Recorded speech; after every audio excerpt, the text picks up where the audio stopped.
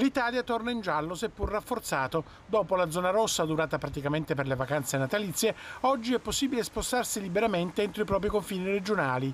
I centri commerciali, negozi, bar e ristoranti sono stati aperti fino alle 18, aperti anche parrucchieri ed estetisti.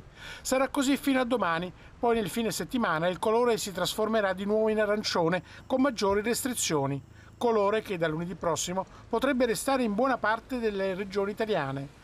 Se in Emilia-Romagna si dà per scontata l'ordinanza del ministro Speranza e nel Lazio si guarda con apprensione al peggioramento della curva, il Veneto ieri aveva superato la soglia, la Lombardia era al limite e la Liguria appena sotto. Rischio alto anche per Piemonte, Puglia, Calabria e Basilicata.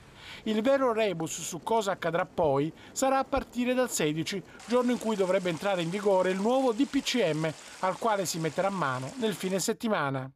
Il nuovo provvedimento conterrà certamente regole rigide e la proroga di alcuni divieti, compreso quello di spostamento tra le regioni, almeno fino al 31 gennaio. Scontato il rinnovo del coprifuoco alle 22, così come la chiusura di palestre, cinema e teatri.